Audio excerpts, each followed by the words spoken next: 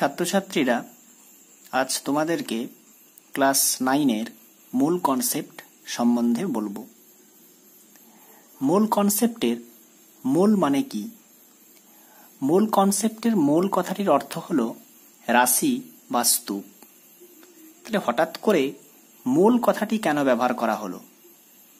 না, আমরা জানি যে পদার্থের পরিমাণের একক হচ্ছে মোল। তুমি দোকানে যখন কোনো জিনিস কিনতে যাও, ধরো আলু কিনতে গেছো, তাহলে তুমি দোকানদারকে বলো যে আমাকে দু কেজি আলু দাও। তাহলে এক্ষেত্রে পরিমাণ বোঝাতে আমি কেজি ব্যবহার করলাম। কিন্তু পদার্থের মধ্যে অতি ক্ষুদ্র ক্ষুদ্র কণা থাকে। সেই কণার পরিমাণ বোঝানোর জন্য যে রাশি ব্যবহার করা হবে, তা হলো মোল। অর্থাৎ অত্যন্ত ক্ষুদ্র কণার পরিমাণের জন্য আমরা সাধারণত এই মোল এককটি ব্যবহার করব। তাহলে পদার্থের ক্ষুদ্রতম কণা কি? না, পদার্থের ক্ষুদ্রতম কণা হচ্ছে পরমাণু। আমরা ডালটনের পরমাণুবাদ জেনে এসেছি। ডালটনের পরমাণুবাদের ত্রুটি জেনে এসেছি এবং সেই ত্রুটিতে পরমাণুর মধ্যে যে তিনটে পার্টিকেল রয়েছে, প্রোটন, নিউট্রন, ইলেকট্রন তা আমরা ডালটনের পরমাণুবাদের ত্রুটিতে জেনে এসেছি। আবার এই পরমাণু থেকে অণুর সৃষ্টি হয়। কতকগুলি পরমাণু পরস্পরের সঙ্গে যুক্ত হয়ে অণু সৃষ্টি করে। যেমন ধরো, হাইড্রোজেন পরমাণু এবং আরও একটি হাইড্রোজেন পরমাণু পরস্পরের সঙ্গে যুক্ত হয়ে এইচ টু অণু তৈরি করেছে। অণু ক প্রকার? না, অণু হচ্ছে দুই প্রকার। এক হচ্ছে মৌলিক অণু আর দুই নম্বর হচ্ছে যৌগিক অণু মৌলিক অণু মানে কি?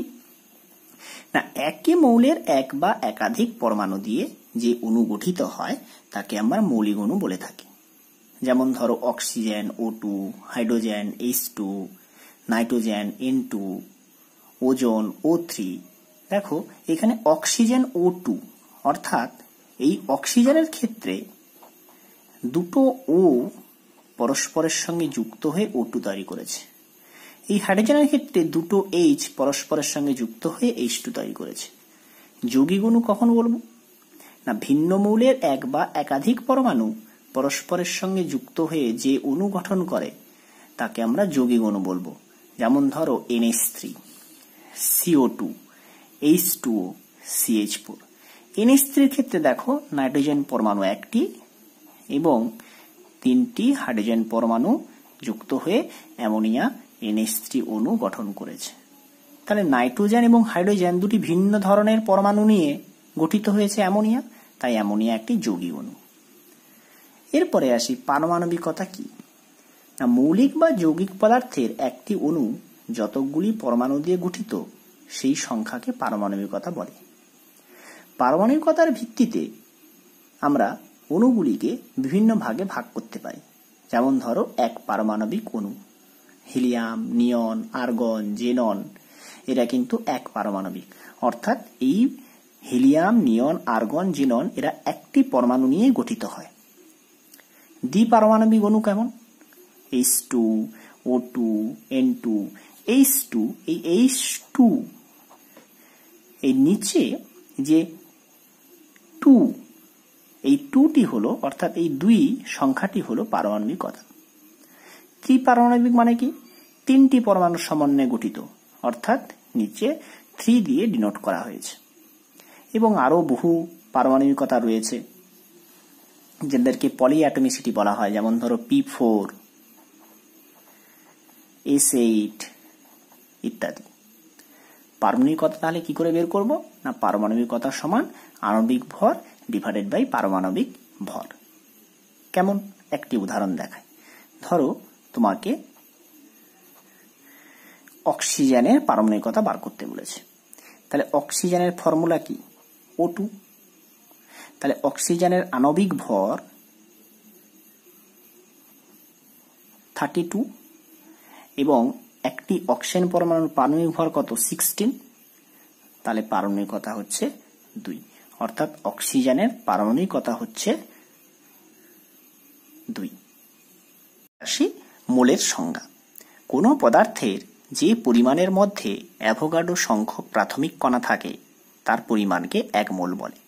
প্রাথমিক কণা বলতে কি কি বোঝায়? অণু, পরমাণু, আয়ন হতে পারে, মূলক হতে পারে, ইলেকট্রন হতে পারে, প্রোটন হতে পারে, নিউট্রন হতে পারে। তো এই অ্যাভোগাডো সংখ্যা, অর্থাৎ এক মোল কোনো পদার্থের মধ্যে যে সংখ্যক অণু, পরমাণু, আয়ন, মূলক বা ইলেকট্রন থাকে, তার মানটা হয় six point zero two two into ten to the bar twenty three এটা আমরা কি করে পেলাম? ভর স্পেকট্রোমিটার একটি যন্ত্র রয়েছে, যে যন্ত্রের সাহায্যে আমরা নির্ণয় করতে পারি। একটি কার্বন পরমাণুর ভর one point nine nine two six four eight into ten to the bar minus twenty three গ্রাম।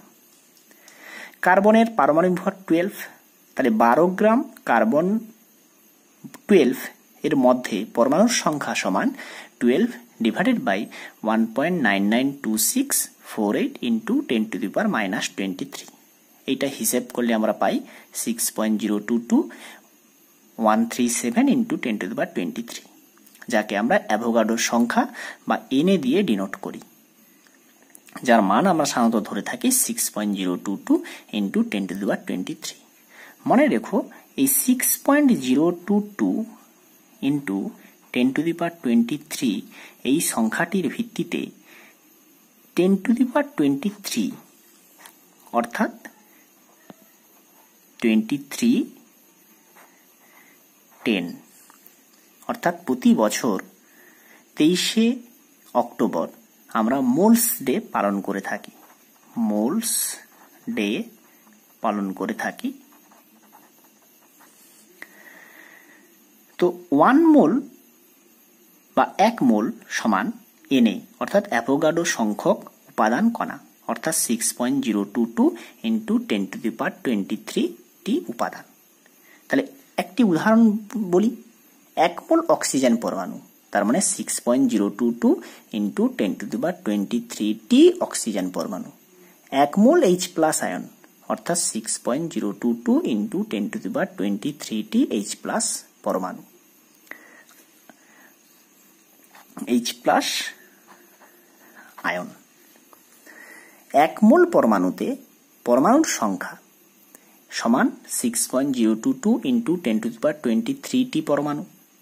এক মোল অণুতে অণুর সংখ্যা six point zero two two into ten to per twenty three এক মোল আয়নে আয়নের সংখ্যা six point zero two two into ten to per twenty three এসটিপিতে বাইশ দশমিক চার লিটার গ্যাসের অণুর সংখ্যাও six point zero two two into ten to per twenty three অর্থাৎ এক মোল পরমাণু এক মোল অণু এক মোল আয়ন এছাড়া এসটিপিতে বাইশ দশমিক চার লিটার গ্যাসের অণুর সংখ্যা সবসময় six point zero two two into ten to the power twenty three হয়ে থাকে।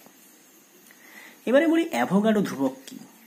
না, অ্যাভোগাডো ধ্রুবক সমান অ্যাভোগাডোর সংখ্যা ডিভাইডেড বাই মোল অর্থাৎ অ্যাভোগাডোর সংখ্যাকে যদি আমরা মোল সংখ্যা দিয়ে ভাগ করি, তাহলে আমরা অ্যাভোগাডো ধ্রুবক পাবো, যার মান হচ্ছে six point zero two two into twenty two বার টোয়েন্টি থ্রি মোল ইনভার্স তো জেনে রেখো, এক মোল ইলেকট্রনের মোট আধান ছিয়ানব্বই হাজার পাঁচশো কুলম্বের সমান হয়ে থাকে। এটি সি অর্থাৎ কুলম এবং ছিয়ানব্বই হাজার পাঁচশো কুলম এক ফেরাডে সমান হয়ে থাকে। ফেরাডের সমান হয়ে থাকে। এবার আসি পারমাণবিক ভর এবং আণবিক ভর কি? পরমাণুর সাধারণত পারমাণবিক ভর হয়। অণুর কি হয়? না অণুর আণবিক ভর হয়। কোনো মৌলের পারমাণবিক ভর বলতে কি বোঝায়? না, কোনো মৌলের পারমাণবিক ভর সমান মৌলটির একটি পরমাণুর ভর ডিভাইডেড বাই একটি কার্বন পরমাণুর ভরের একের বারো অংশ। এটি পারমাণবিক ভরের সমান হয়ে থাকে। পারমাণবিক ভরের একককে সাধারণত আমরা ইউ আকারে প্রকাশ করি। তো জেনে রাখি, ইউ মানে কি? Unified mass. ওয়ান ইউ সমান one point six six zero five into ten to the power minus twenty four gram বা one point six six zero five into ten to the power minus twenty seven gram twenty seven KG পারমাণবিক ভর ও আণবিক ভর কি করে আমরা নির্ণয় করব? পারমাণবিক ভর বলতে আমরা পর্যায় সারণীতে যে সমস্ত পরমাণুগুলি বা মৌলগুলি রয়েছে, তাদের পারমাণবিক ভর আমাদেরকে জেনে রাখতে হবে। সেক্ষেত্রে তোমরা বিভিন্ন বইয়ের সাহায্য নিয়ে পারমাণবিক ভরের লিস্টটি মুখস্থ করবে। আণবিক ভর কি করে বের করব? একটি উদাহরণ দেখাই। ধরো সিও টু সিও টু এর আণবিক ভর কি করে বের করব? সিও টুর ক্ষেত্রে এখানে দেখতে পাচ্ছি একটি কার্বন এবং দুটি অক্সিজেন রয়েছে। তো সেক্ষেত্রে এই কার্বন একটি অক্সিজেন দুটি রয়েছে। কার্বনের পারমাণবিক ভর হচ্ছে টুয়েলভ অক্সিজেন দুটি রয়েছে, তাই সিক্সটিন ইন্টু টু করেছি। তারপরে সিও টুর আণবিক ভর বেরালো ফর্টি ফোর ইউ এইভাবে আমরা আরও বিভিন্ন আণবিক ভর ব্যবহার করব। তোমরা যদি আমার নিউমারিক্যালস যে নোটটি রয়েছে তা যদি ফলো করো, তবে তোমরা ওই আণবিক ভর এবং মূলের কনসেপ্ট থেকে যে সমস্ত প্রবলেমগুলো এসে থাকে বিভিন্ন পরীক্ষায়, সেই প্রবলেমগুলো একসঙ্গে করা আছে। মূল সংখ্যা গণনা কি করে করব? মূল সংখ্যা গণনার অনেকগুলো সূত্র রয়েছে। ধরো, এক পরমাণু মৌলের অণু বা পরমাণুর মূল সংখ্যা কি করে নির্ণয় করব? মূল সংখ্যা সমান প্রদত্ত মৌলের ভর ডিভাইডেড বাই মৌলের গ্রাম পারমাণবিক ভর। যে প্রদত্ত ভরটা দেওয়া থাকবে, তাকে যদি মৌলের গ্রাম পারমাণবিক ভর দিয়ে ভাগ করো, তবে তুমি মূল সংখ্যা পাবে। অণুর ক্ষেত্রে কি করে বের করবে? না, অণুর ক্ষেত্রে প্রদত্ত ভর ডিভাইডেড বাই গ্রামানবিক ভর দিয়ে ভাগ করলে তুমি মূল সংখ্যা পাবে। একটি উদাহরণ হিসেবে বলি। ধরো, চৌষট্টি গ্রাম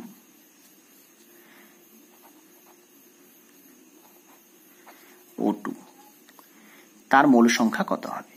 চৌষট্টি গ্রাম ওটু এর মূল সংখ্যা হবে প্রদত্ত ভর চৌষট্টি সিক্সটি ফোর এবং ওটু এর আণবিক ভর হচ্ছে থার্টি টু এক্ষেত্রে তুমি মূল সংখ্যা পেলে কত? অনলি আয়নের মূল সংখ্যা কি করে বের করবে? না, আয়নের মূল সংখ্যা সমান আয়নের ভর ডিভাইডেড বাই আয়নের গ্রাম সংকেত ভর। কোনো একটি আয়ন থাকবে, সেই আয়নের তুমি ভর বের করবে, সংকেত ভর, এবং তাকে তুমি আয়নের গ্রাম সংকেত ভর দিয়ে যদি ভাগ করো, তাহলে তুমি আয়নের মূল সংখ্যা পাবে। অর্থাৎ প্রদত্ত ভর ডিভাইডেড বাই আয়নের গ্রাম সংকেত ভর। গ্যাসীয় পাত্রের অণুর সংখ্যা কি করে বের করবে? না, গ্যাসীয় পাত্রের অণুর সংখ্যা সমান এসটিপিতে গ্যাসের আয়তন ডিভাইডেড বাই বাইশ দশমিক চার লিটার, অর্থাৎ প্রদত্ত আয়তন ডিভাইডেড বাই বাইশ দশমিক চার লিটার। ধরো তোমাকে দিল চুয়াল্লিশ দশমিক আট লিটার সিও টু এর মূল সংখ্যা। তাহলে চুয়াল্লিশ দশমিক আট লিটার সিও এর মূল সংখ্যা হবে ফর্টি ফোর পয়েন্ট এইট প্রদত্ত আয়তন ডিভাইডেড বাই সিও টু এর এসটিপিতে আয়তন যেটা হয়ে থাকে বাইশ দশমিক চার লিটার যে কোনো গ্যাসের ক্ষেত্রে। তাহলে মূল সংখ্যা বেরোবে কত? অনলি টু এছাড়া এনটিপি এবং এসটিপিতে সকল গ্যাসের মোলার আয়তন সবসময় বাইশ দশমিক চার লিটারই হয়ে থাকে। তো মনে রেখো, এক লিটার সমান বা এক লিটার সমান এক হাজার সেমি কিউব সমান এক ডেসিমিটার কিউব। এছাড়াও তুমি মূল সংখ্যা বের করতে পারবে, প্রদত্ত অণু অথবা পরমাণুর সংখ্যা যদি দেওয়া থাকে তাকে যদি তুমি অ্যাভোগাডো সংখ্যা দিয়ে ভাগ করো, তবে তুমি মূল সংখ্যা বের করতে পারবে। একটি শর্ট ডায়াগ্রাম দেখো। মূল সংখ্যা, সেখান থেকে অনুর সংখ্যা, সেখান থেকে গ্রামে প্রকাশিত ভর। কোথাও মূল সংখ্যা রয়েছে। মূল সংখ্যাকে তুমি যদি অ্যাভোকাডোর সংখ্যা দিয়ে গুণ করো, অর্থাৎ ইন্টু এনে এনের ভ্যালু কত? না এনের ভ্যালু হচ্ছে six point zero two two into ten to the per twenty three যদি গুণ করো, তাহলে তুমি অনুর সংখ্যা পাবে। আবার অনুর সংখ্যায় যদি তুমি অ্যাভোগাডো সংখ্যাতে ভাগ করো, তাহলে তুমি মূল সংখ্যা পাবে। তেমনি অনুর সংখ্যার সঙ্গে যদি তুমি এম বাই এনে অর্থাৎ আণবিক ভর ডিভাইডেড বাই অ্যাভোগাডো সংখ্যাতে যদি গুণ করো, তাহলে তুমি গ্রামে প্রকাশিত ভর পাবে। আবার গ্রামে প্রকাশিত ভরকে যদি তুমি আণবিক ভর দিয়ে ভাগ করো, তাহলে তুমি মূল সংখ্যা পাবে। অর্থাৎ এই যে সাইকেল এই সাইকেলটি হচ্ছে শর্ট ডায়াগ্রাম তুমি যে কোনো মূল কনসেপ্টের অঙ্কের ক্ষেত্রে তোমার কাজে লাগবে। এছাড়াও যে জিনিসটি সিলেবাসে নেই, তা হলো গ্যাসের বাষ্প ঘনত্ব। গ্যাসের বাষ্প ঘনত্ব ডি সমান এম বাই টু অর্থাৎ আণবিক ভর বাই টু অর্থাৎ এম সমান টু ডি বাকি যা থাকল, আমাদের, আমরা জানি যে কেমিস্ট্রিতে দুই ধরনের যৌগ হয়ে থাকে। একটি হলো আয়নীয় যৌগ এবং অপরটি হল সমজীবী যৌগ। আয়নীয় যৌগের ক্ষেত্রে আমরা জানি যে দুই ধরনের আয়ন থাকে, একটি ক্যাটায়ন, একটি অ্যানায়ন। এই ক্যাটায়ন অ্যানানের মধ্যে তীব্র স্থিরতারিতিক আকর্ষণ বল কাজ করে, তাই এটি আইনীয় যৌগ। তাই আইনীয় যৌগে অণুর প্রকৃত অস্তিত্ব নেই। তাই আইনীয় যৌগে আণবিক ভর কথাটি বলা উচিত নয়। সমজীব যৌগের ক্ষেত্রে অণুর অস্তিত্ব আছে। তাই উদাহরণ হিসাবে বলা যেতে পারে, এনএসিএল সোডিয়াম ক্লোরাইড একটি আইনীয় যৌগ। সোডিয়ামের টোয়েন্টি থ্রি, ক্লোরিনে থার্টি ফাইভ পয়েন্ট ফাইভ, অর্থাৎ total fifty eight point five. এই ফিফটি এইট পয়েন্ট ফাইভ, এটি হল সংকেত ভর আণবিক ভর নয়। তাই মনে রেখো, আইনীয় যৌগের ক্ষেত্রে সংকেত ভর কথাটি ব্যবহার করব এবং সমজীয় যৌগের ক্ষেত্রে আণবিক ভর কথাটি ব্যবহার করব। তোমরা এই ভিডিওটি সাবস্ক্রাইব করে রাখো। পরবর্তী এই অধ্যায়ের যে সমস্ত প্রবলেমগুলো রয়েছে, সেই প্রবলেমগুলো বোঝানোর চেষ্টা করব।